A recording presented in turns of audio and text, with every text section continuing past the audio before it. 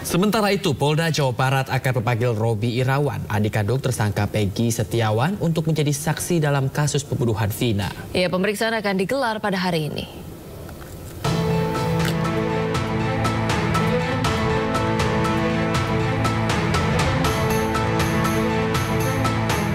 Penyidikan kasus pembunuhan Vina dan Eki terus bergulir.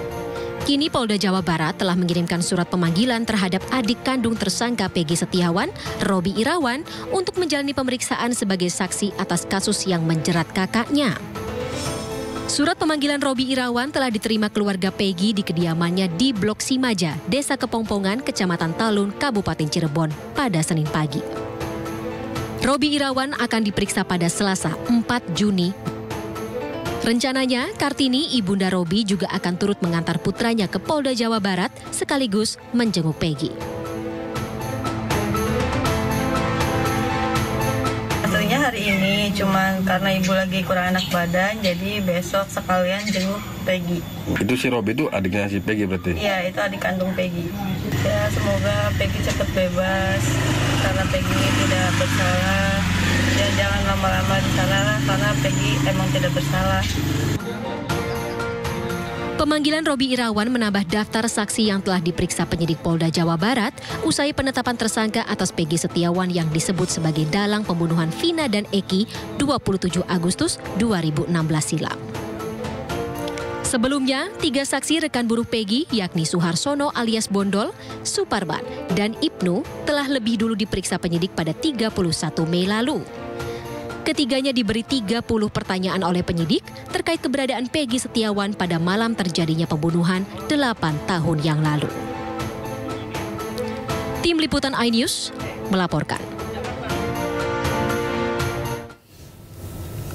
Ya pemirsa pengacara Farhad Abbas akan ikut membela mantan terpidana pembunuhan Vina dan Eki Saka Tatal untuk mengajukan peninjauan kembali atau PK. Ya, Farhad ini mengaku bahwa memiliki novum atau bukti baru yang menunjukkan bahwa Saka tidak terlibat. Bayani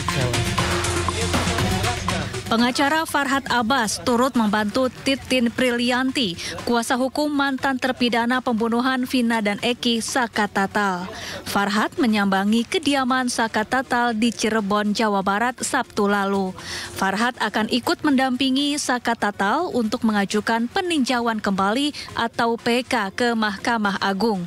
Mereka juga mengaku sudah menyiapkan novum atau bukti baru yang menunjukkan bahwa Saka tidak terlibat anak pejabat yang mana sih yang terlibat? Dia susah menjelaskan karena dia merasa tidak melakukan. Iya.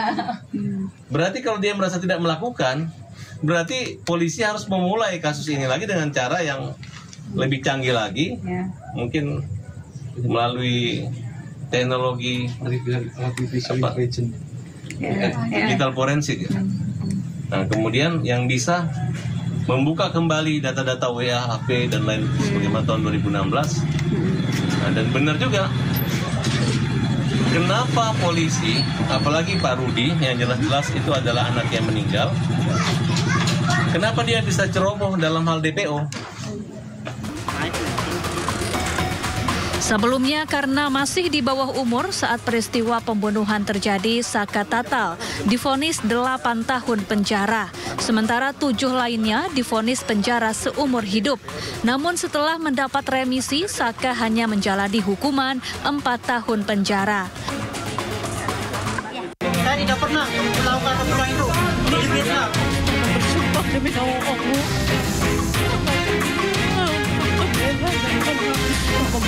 Demi nama Allah. Aku sendiri kata kamu tidak bersalah. Saya tidak pernah melakukan perbuatan itu di Vietnam. Saya tidak mati. Saya tidak pernah